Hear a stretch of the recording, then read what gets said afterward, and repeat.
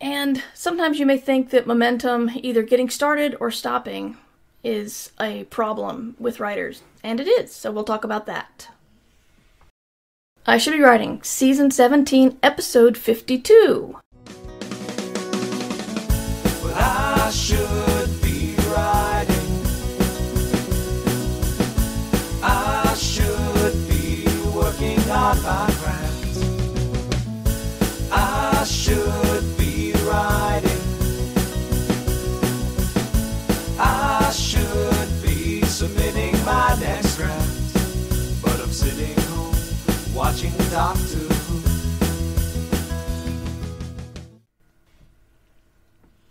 So, hi there.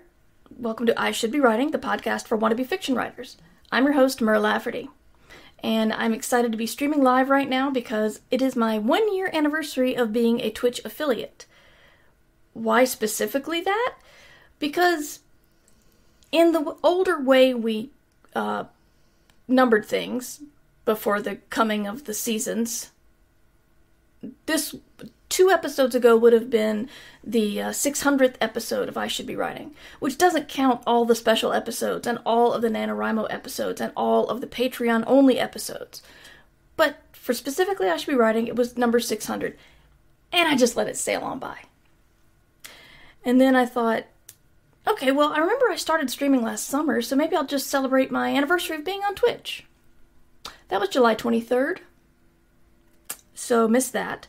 And so then I tried to figure out when I became an affiliate, which uh, is today. Does that make sense? Maybe it was earlier than that. Anyway, I know for a fact because I looked in my email that I made affiliate on um, August 5th. What is today? I don't know. 5th, the computer says so. 5th. And uh, I couldn't have done it without people showing up and hanging out. And so thank you for that. It's uh, Twitch has made me about two hundred dollars in a year, something like that. Which is, you know, it's nice to have, you know, a dinner out arrive. But uh, I, am going to keep working towards partner, of course. But uh, for now, I'm just grateful for y'all showing up and hanging out. All right, so um, what we do in these streams is we talk about writing. I talk about writing and what I'm working on for about 30 minutes, and then we turn it off for the podcast listeners, and then we do more direct interaction with the stream. If you want to be part of this, uh, I stream on Tuesdays and Thursdays. Honestly, the time may be changing, but I'm not sure. Haven't figured that one out yet. But it is going to be Tuesdays and Thursdays. Twitch.tv slash Mighty Mur. So, what I've been working on is uh, trying to finish my novella and over the break, I started, I made another outline, and that helped out a lot. And I tried to do a little bit of writing, but I don't know who I'm kidding. Um, Kameron Hurley was there, and so she and I had a couple of writing dates. But uh, overall, I didn't get a lot done. But this morning, I got up and I started working, and I I knew what was going to happen. And I knew that I had to raise the stakes here and there. And I uh, wanted to keep writing, except I realized I needed to clean up and do a stream. But I looked and I had about 3,500 words, which is a lot for me. That's a whole lot.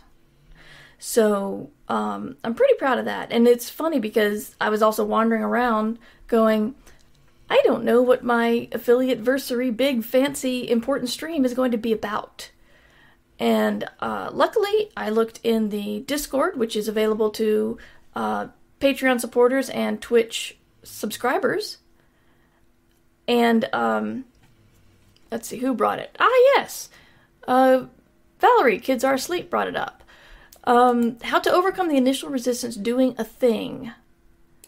And this is honestly one of the hardest things. It's it's really it's a very AD, ADHD thing. It's a very creative person thing. The um the first step is just really difficult. And if you were around podcasting around 2006 or 7. You might have seen this, but uh, Ze Frank was doing one video every uh, weekday for a year.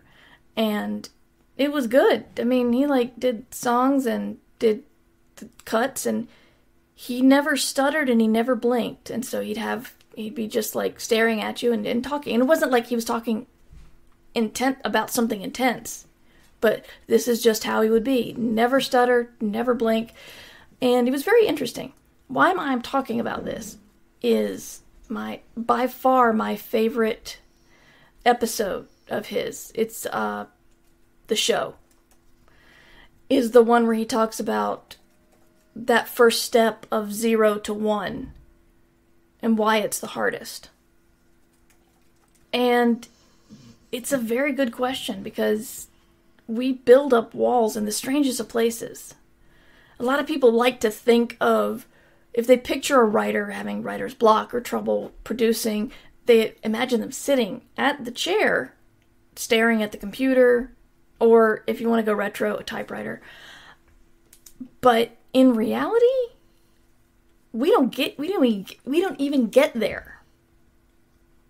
Or if we get there, we're not staring at the blank page, we're staring at Twitter or email or Reddit or something. What are the kids looking at these days? Tumblr?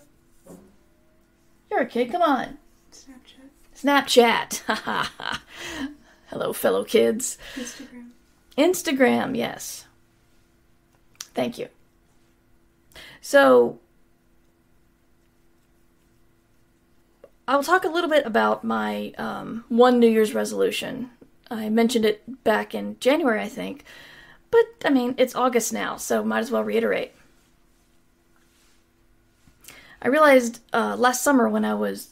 Oh, no, summer before that. It's like last year didn't even happen because not a lot happened personally last year. It's just like one big line. But anyway, um.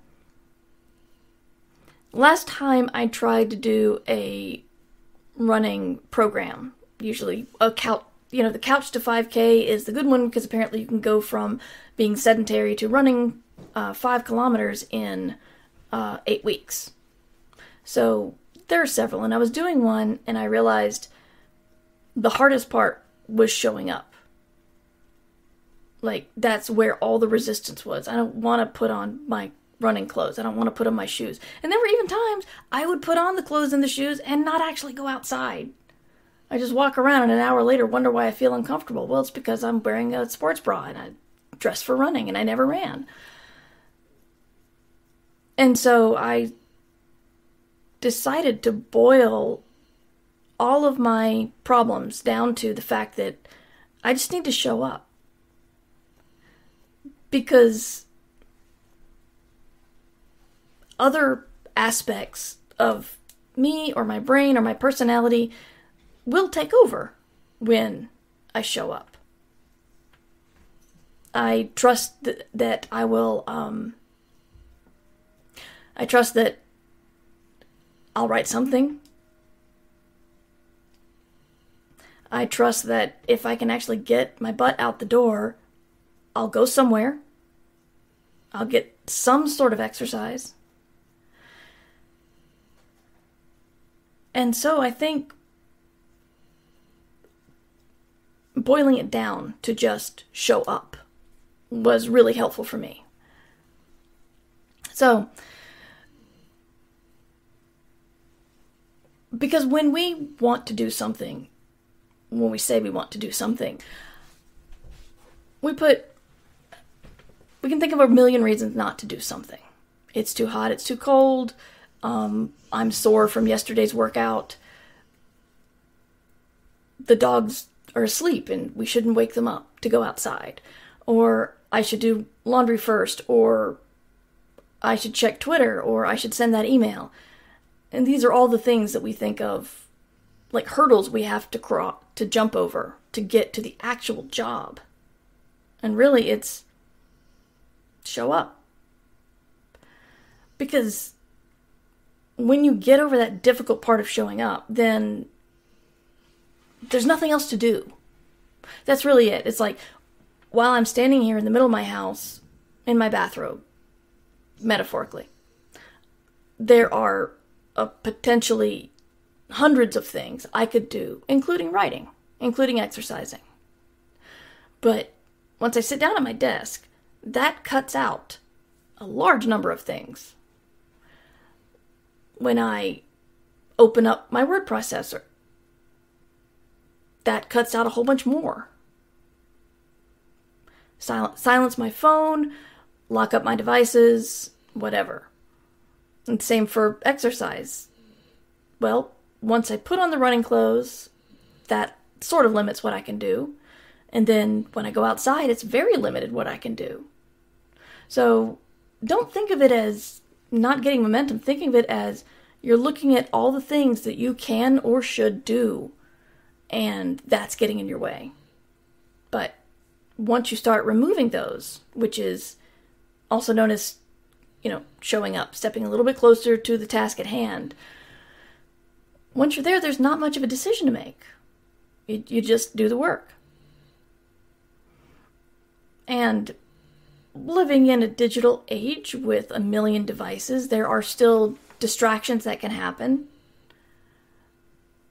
But they will be greatly diminished once you finally get to where you need to be physically to do the thing. It's we put up our own walls. I was listening to something. I'll try to find it and put it in the show notes. A, it was a podcast, I think, and someone was saying that when she wanted to do something, even if it was easy, the past mistakes or times that she failed or times that it didn't go well, each made a brick on top of the other brick, and so you you were building this wall in front of this probably easy thing to do, but your failures and maybe just when it didn't go well or when you ran out of time or whatever. And then you get a little wary. So I was lucky today that I hit the other side, which was um, lots and lots of writing momentum. I felt good.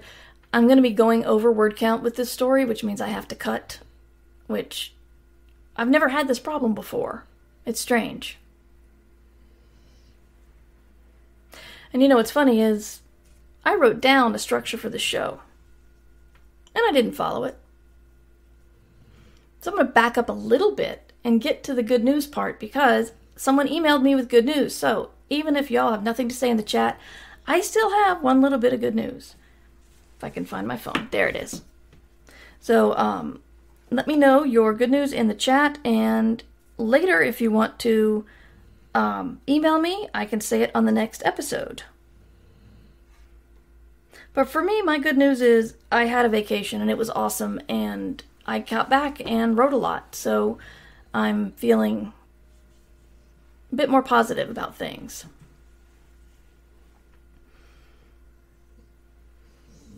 Let's see. I'm going to find it. I'll find it. Note to self have this queued up before we start streaming. So Firewriter beat Hades on Monday for the first time without turning on God mode, which is something I've never done. So congratulations, that's awesome. Let's see. It's coming.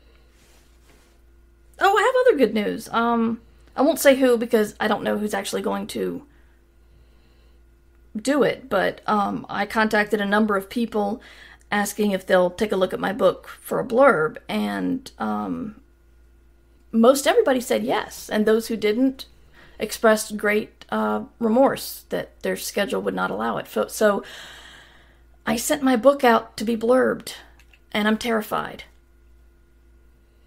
So that's funny. That's good. That's good news, right? Yeah, that's good news. That's that's progress. I just don't know Yeah. I'm just scared. It's it's the you know, you can't be happy if your last book was a flop. You worry that your next next one's going to be a flop. If your last book was a success, you worry that the next one won't measure up to the last one. So, I'm very good at, at finding the worst in every situation. Okay, I had to check to see if I could use the name. I tried to. If you ever want me to keep you anonymous, say it in the beginning so I won't say, Billy says blah blah blah blah blah. Don't say my name on the show. Edward says, Yesterday I finished perhaps the most difficult draft of a novel I've ever written. I struggled with the pressure I was putting on myself to write something that would be publishable. It was only after you talked about the Ira Glass advice that I freed myself from the pressure, and I do believe I have a practice novel that I've been practicing on since December 2014. And that is awesome. Finishing a draft is finishing just finishing a draft is difficult. Sometimes we get mired in the middle, sometimes we get to the end and go, well that that that's not right. That's not how the story should end. What have I done? Where do I have to go back and find where I screwed up? Um Ever goes on to say that I get really sad when I finish a draft.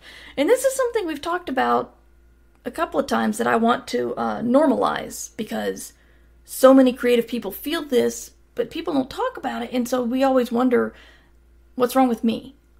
And that's when you finish something like a major project, you're going to feel a little let down.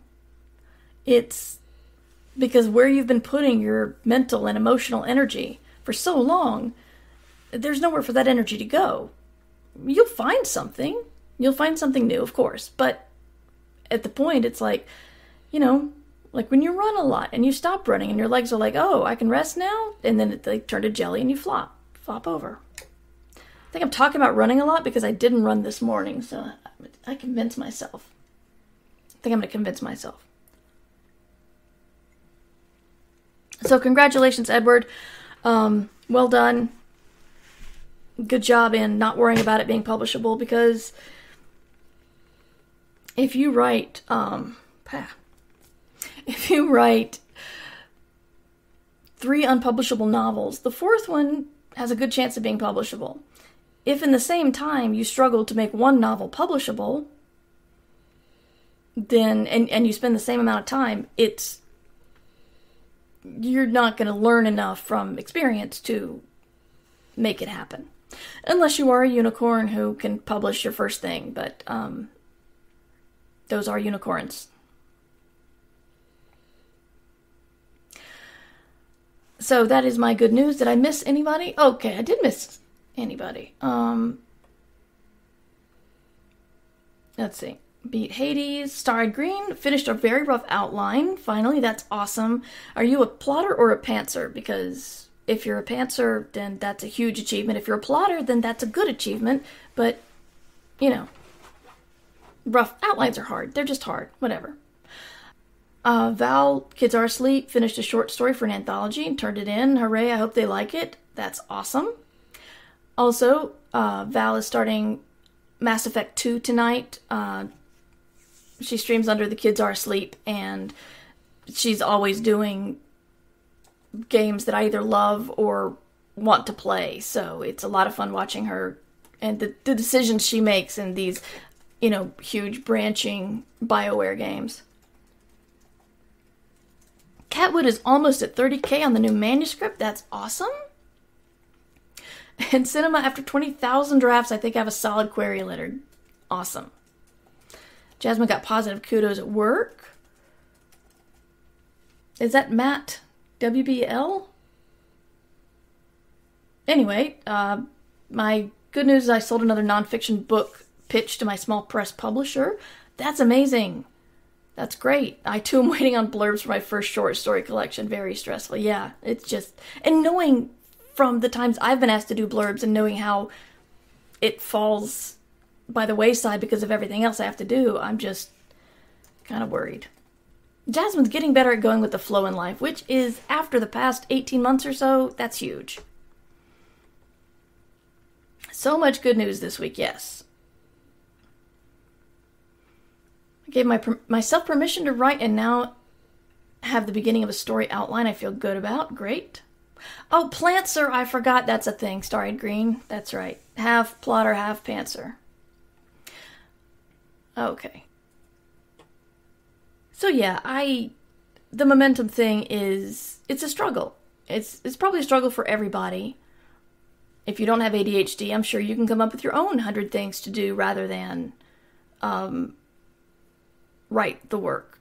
I know people who have fretted over their first paragraph, wondering which word processor to use, wondering which font to use. It's there are so many little things you can self-sabotage yourself on. You just I can't do this until I'm sure I know I my margins are right. It's just yeah. So begin eliminating the things, the other things, and you can do that by narrowing your opportunities. Does that make sense? Does that make sense? I'm not sure. Like I said, when you get a little closer and show up to the actual event or chore or whatever you want to call it, what you're doing is you're shutting out the other possibilities, the other decisions you have to make in life. And um, that's that's a step you can take. I'm not going to promise the whole device problem, basically because I haven't fixed it myself. But getting to the chair, showing up for work is probably the best way I have of looking at that. So I'm going to go ahead and end this right now for the RSS feed. If you're hanging around in the chat, uh, we're not going to stop. So if you want to hang out in the chat and talk directly to me, we stream on Twitch for free, twitch.tv slash mightymur. And if you want to hear everything I'm saying to the chat, then support at patreon.com slash mightymur. And uh, you can get the full downloads of everything we talk about. And until then, you should be writing.